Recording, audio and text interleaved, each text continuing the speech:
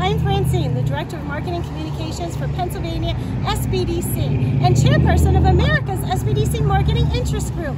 The Marketing Interest Group is a community of SBDC marketers within all the networks of all the states. We share best practices, collaborate on communication ideas, and share support for each other and multiply the reach and awareness of SBDCs across the country. A fun fact about me, I'm from Scranton, Pennsylvania, home of the Office Shell, which is based on a real paper company in Scranton.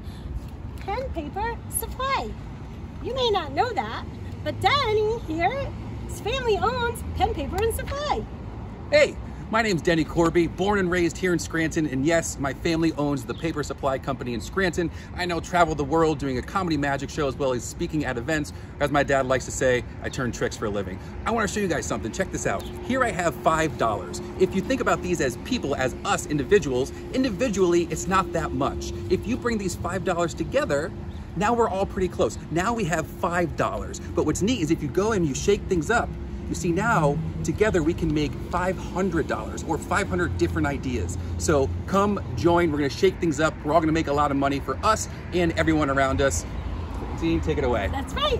Join the marketing interest group for America's SBDC so we can share ideas and shake things up and become 500 ideas instead of a dollar idea.